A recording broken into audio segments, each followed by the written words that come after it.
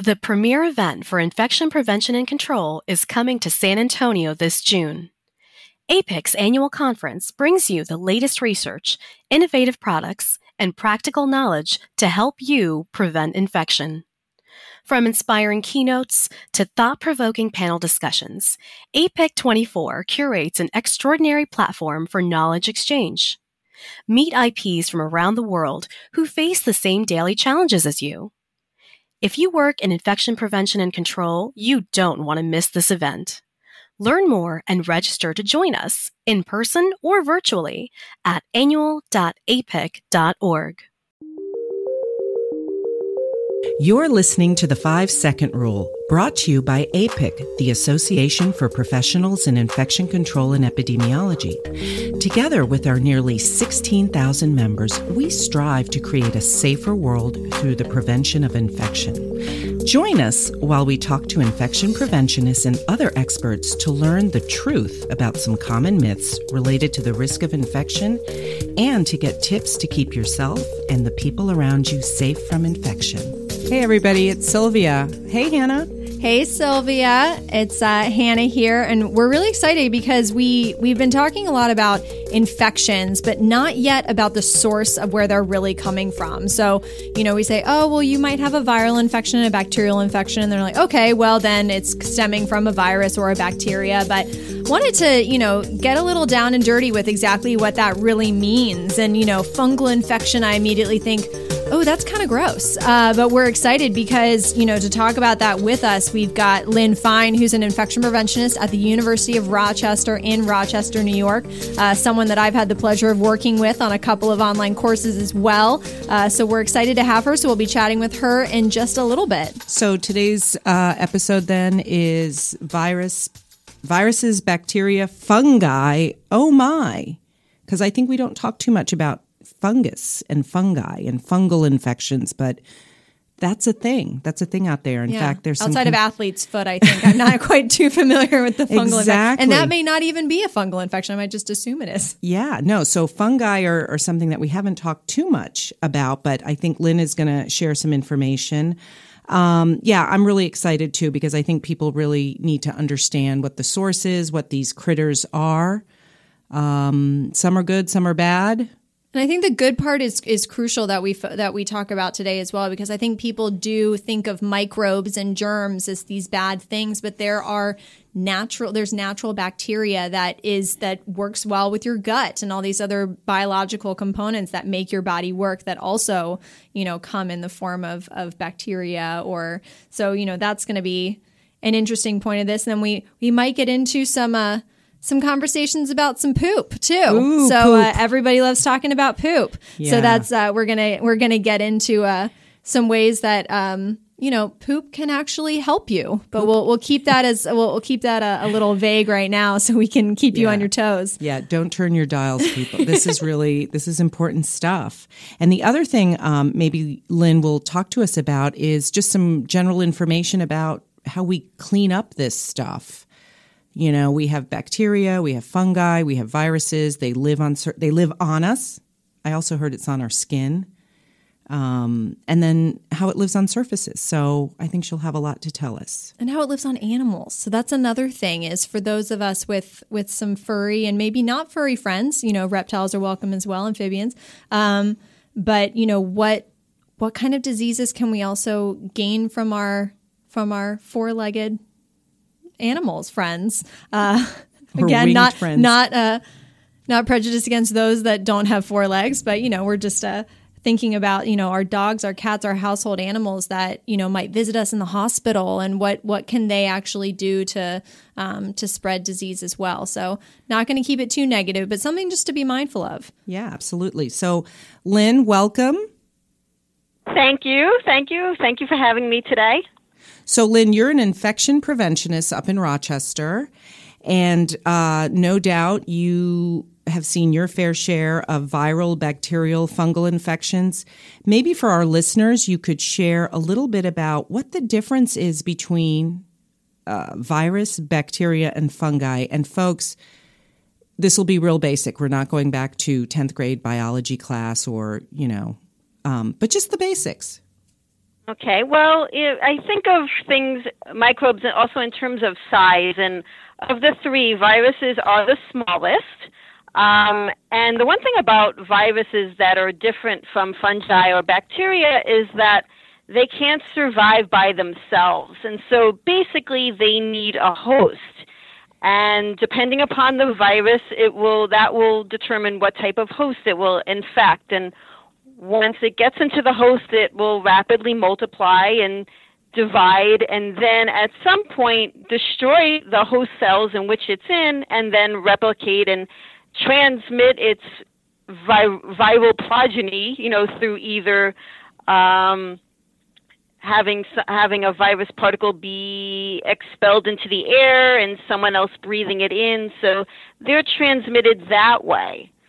Um, bacteria so, are next. Oh, I'm sorry. So, so the viruses need us. They need. Yes, they do. Or they need a host. Okay, got it. Um, next are bacteria, which are bigger than viruses but smaller than fungi and they uh, come both. Uh, they can be both beneficial as well as harmful. So there are good bacteria and there are bad bacteria, and um, depending upon what site in the body they are, um, that might also dictate if they cause infection or not.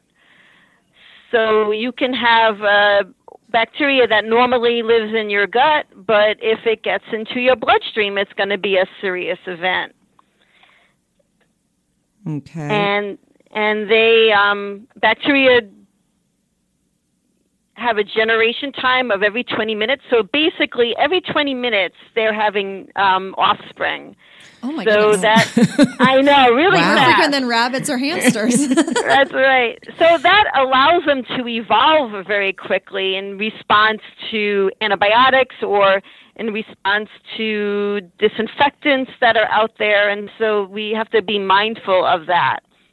Wow. But but they're also good bacteria as well. You know, if anybody eats yogurt, um, we wouldn't have yogurt if it wasn't for bacteria.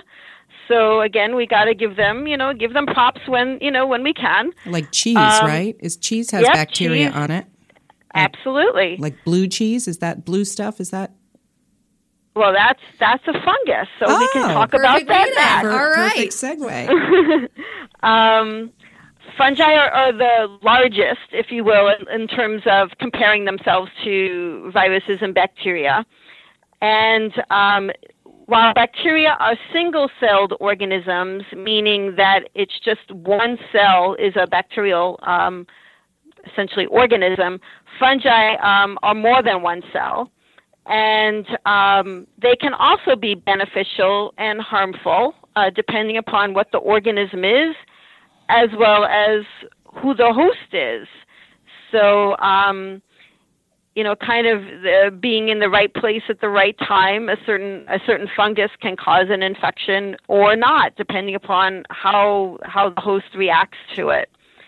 And a lot of fungi are found in water, soil. You know, they're they're like environmental organisms, like a mold. Uh, yeah, exactly. Oh. Exactly. I think we've all seen molds in you know in the environment in your refrigerator you know.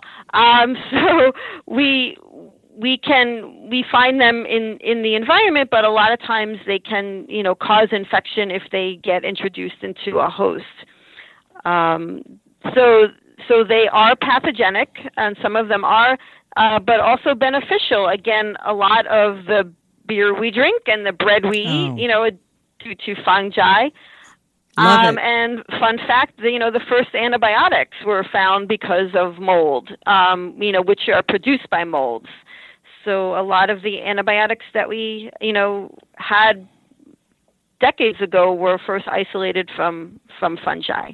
Very cool. And that you, really leads yeah. into our another piece where you know we've been talking about antibiotic resistance. So we've we've covered you know the antibiotic stewardship piece of it, but sort of the history behind antibiotic resistance. And you know how these organisms i guess part of it is because they can populate so quickly it means that just like it's almost an accelerated evolution. So whereas we've you know over centuries and thousands of years we've adjusted to our environment they're doing at it they're doing it at a much faster rate it sounds like especially since now that we are exposing ourselves in all different ways to to antibiotics that it's giving them the ability to to grow their their armor Exactly, exactly. So, you know, there are, are different mechanisms by which antibiotics, you know, act.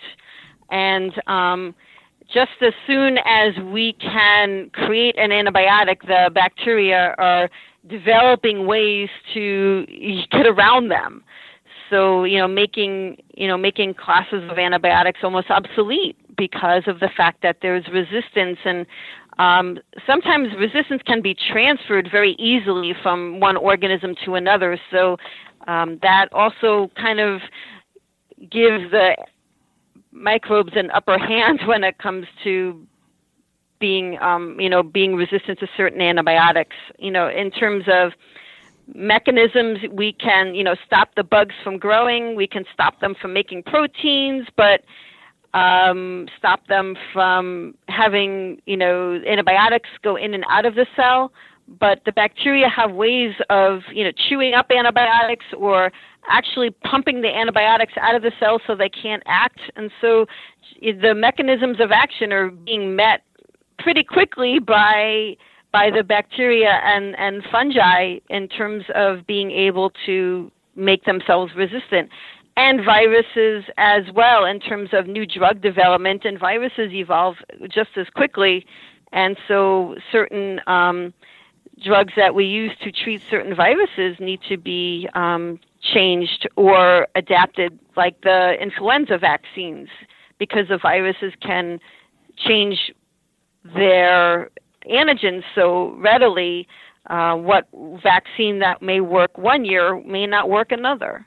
So, Lynn, first of all, I got to say thank you. I wish you were my high school teacher because um, I think I've understood this better today than I did long ago. so, thank you. Um, one thing I've heard, and this speaks to how you clean it up. I mean, we hear this term biofilm and bioburden. Mm-hmm. So, can you tell our listeners about, you know, there's bacteria everywhere. We're talking about maybe numbers and the amount? And then what happens when these organisms decide they're just going to all cluster together and create this this huge biofilm? Can you share some information about that? Sure, sure. It almost sounds like the name of a horror movie, you know, biofilm. um, but so so you know, we, we think of this in terms of devices that go into the body um, like um, catheters and any artificial um, devices that are implanted, such as artificial joints. And you know, at at some point, the the body will recognize that as foreign, and you know, they will deposit. You know, sometimes uh, tissue or blood, or it'll epithelialize. Um, wow, that's a big word. What's epithelialize? What's well, that? it will the body will essentially form cells around it. Okay. Around this foreign foreign object, and um, sometimes bacteria get attached to that, and then they will essentially form a layer.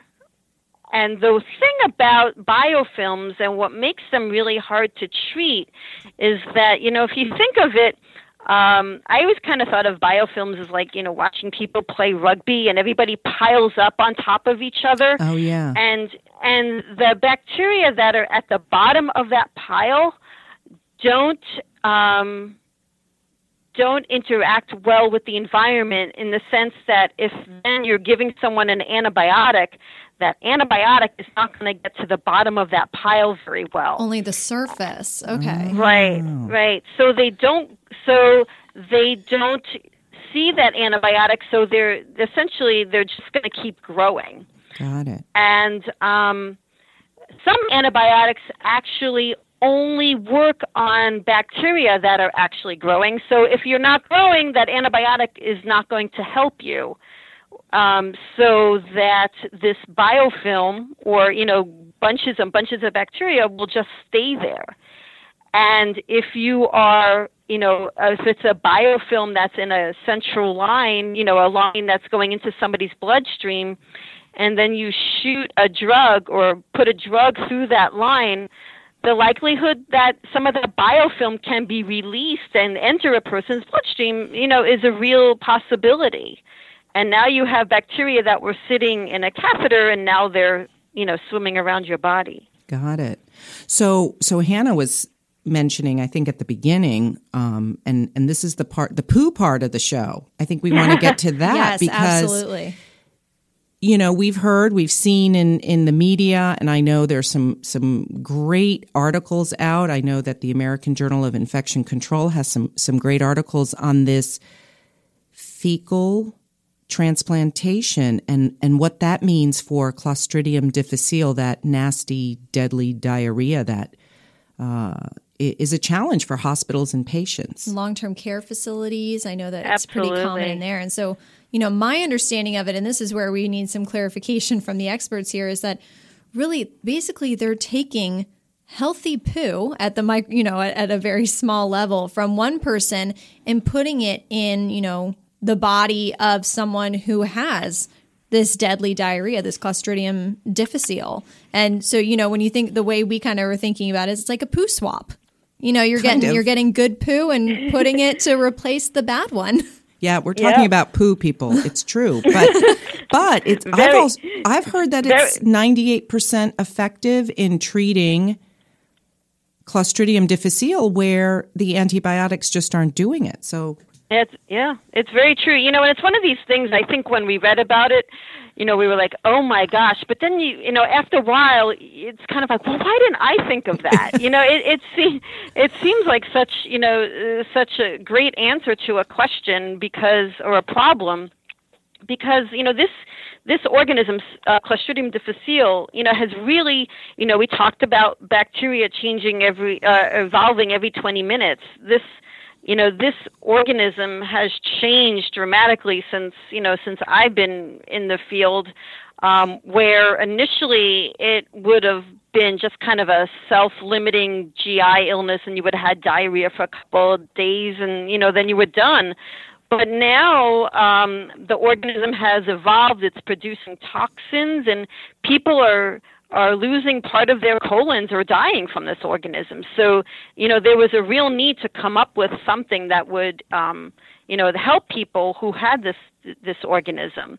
And so yeah, um, you know it's it's kind of a um, the bacteria causes disease in people who have number one have had antibiotics, which kind of depletes your gut of the beneficial bacteria. And then you're exposed to the organism, which then can invade your body and cause a disease. So basically, you know, if if the if if a patient if a person has is on antibiotics and you know depleting their gut flora, think of it as like you know uh, a parking lot that all of a sudden you know used to be filled with cars and now is empty because the antibiotic has killed all the good flora. The c. diff comes in and can park anywhere and you know take up you know take up shop and cause disease. So what someone's fecal transplant is doing is essentially, you know, causing another traffic jam and, you know, putting more cars in the parking lot so the C. diff can't set up shop. And, you know, it's it's used, I think, primarily for people who have recurrent forms of this disease. So once you have it, you are more likely to get it again if, if you know, rather than um, it's not a rat it can it, it it can recur in patients. And so this treatment i think um, is designed probably mostly for them um, but it is incorporated into the new guidelines that are put out by um, the infectious disease society of america. So this is something that you know is now becoming more uh, mainstream uh, therapy. And so the way I was sort of envisioning this was monster trucks are now in the parking lot versus a, a variety of potentially compact vehicles that were there before. So this this fecal transplantation is bringing in the big guns. Yeah, and I by the way, folks, not to do at home. This should be done by uh, the professionals. Correct. And I do know that the FDA is also looking at um, managing sort of the samples and and how that's those are screened and so it's it's becoming more common, but not something that you would want to endeavor on your own. That's the Don't little- try this at home. exactly. and I think related to this, and this goes into another point I brought up earlier, is you know we we we just discussed the fecal transplants, and I I recently learned that there is a dog in Canada that can smell out Clostridium difficile. So there there yeah, I think it was like a Springer Spaniel named Ang- Angus who has the ability to to sniff out. Have you heard of that, Lynn? Um, I have heard of it, um, but you know, I don't know how sensitive or specific a dog would be compared to our PCR testing. So I don't know.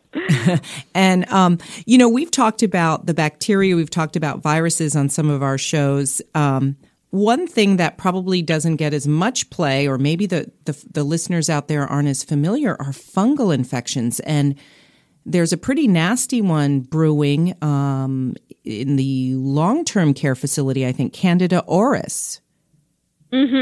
Um, and that that is one of those organisms that has evolved a lot of drug resistance. And you know, we have seen it, but it's not as widespread as some of its other Candida cousins are. But um, you know, we we do do surveillance for it because we will have to kind of um, change our treatment modalities if we know it's Candida auris versus another Candida species that we see more regularly. So, yeah, long term care facilities and intensive care units where people are very sick and, and vulnerable. Now, I did kind of want to, before we close out the episode, I wanted to briefly kind of touch on some some zoonotic diseases. Zoonotic. Wow. What is that? Because I. I learned, I remember, I remember in college, it's not zoonotic because that would be three O's. So it's zo. I, I, my understanding is it's zoonotic diseases.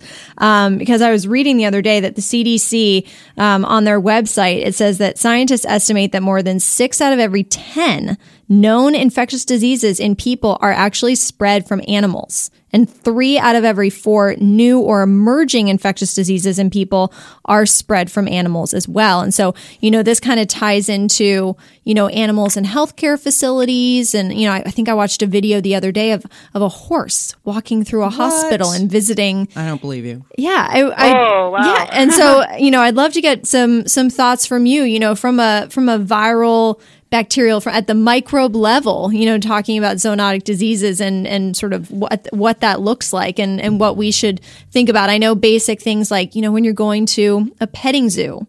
Wash your hands, you know, afterwards because you just don't know, especially when they're when they're farm animals. You don't know where they're coming from, but just want to touch on that a little bit more. Absolutely. Kind of like the proverbial biting the hand that feeds you kind of thing. But, um, Exactly. Um, well, you know, and, and that's why we have in our facility, we have um, therapy dogs that, you know, have to maintain meticulous health records and we allow them in, but we don't allow, you know, patients' own pets to come in because we, you know, we don't know how well they are um, maintained in terms of up to date on their vaccinations because there are a lot of diseases that can be transmitted from animals to humans. And you know i think the one we think about mostly is rabies you know which is a viral disease and we vaccinate dogs to prevent them from be you know getting this virus but there are also um, uh, bacteria as well um, and parasites that can uh, go from either dogs or cats to humans um, especially if you've been bitten by a dog or a cat. Um, and we know that cats can be colonized with uh, like toxoplasma, which can be, which is a parasite and can be quite devastating to people that women that are pregnant. So that's why women who are pregnant, you know, shouldn't change their litter boxes or the cat's litter boxes, not their litter boxes. Well, let's, Um, yeah. Yeah. No judgment out there. right.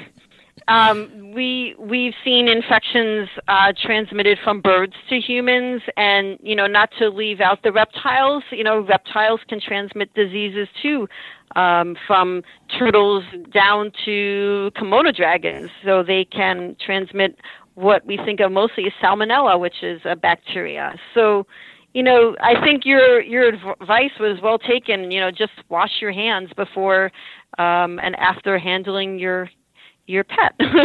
Great um, advice. But, and and you know, and also I think um, what you were talking about before about um, newly newly developing or newly isolated viruses. Um, really are or have been documented to be transmitted, you know, making the jump from animals to humans. We think of Ebola and dengue and you know, so those kind of viruses, you know, pretty much probably did have animal hosts initially and then um, you know, made the leap to infect humans. Wow.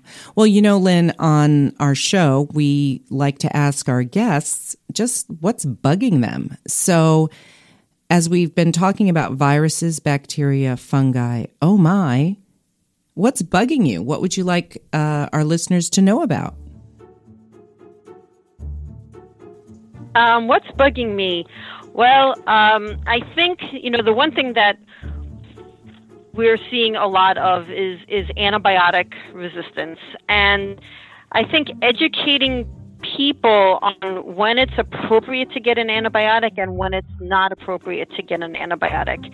Um, if someone has influenza, a lot of the treatment is supportive in that you're treating the symptoms rather than uh, treating the virus. Um, so, if you truly do have influenza, yes, it's appropriate to get an antiviral. But if uh, you go to your doctor and you have a cold, and it's much more likely to be a viral illness, maybe not during flu season, it's you know not appropriate to you know start antibiotics and ask questions later. So, I think that's one of the things that's bugging me. Um, also, um, I think while we talk a lot about antibiotic stewardship, I think it's also important to think about the appropriate use of, of testing and collection of tests that are appropriate, you know, meaning the right patient at the right time and ordering the right test. Um, we see a lot of patients in our hospital, you know, that may have diarrhea and may be due to C. diff and maybe due to something else. And so, in making sure that um, you know there's thought put into what tests are being ordered, uh, because test is going to have a result, and then you want to be able to in- interpret it appropriately. Got so it. that's pretty much what's bugging me now. Lynn, thanks so much. Like I said, you've really schooled me on the differences between or among bacteria, fungi, and viruses. So we want to thank you for joining us today. I want to thank Hannah Thank you, Silvia. And for more information, check out www.apic.org. Thanks for listening to the five second rule and doing your part to prevent infection. Because remember, infection prevention is everybody's business. To hear more five second rule episodes and learn more about how you can help, go to apic.org forward slash five second rule. The five second rule is produced by the Association for Professionals in Infection Control and Epidemiology staff including Hannah Andrews, Ricky Dana, Christine Miller, and Silvia Quevedo, in partnership with Human Factor. Audio tech is Blake Alphen.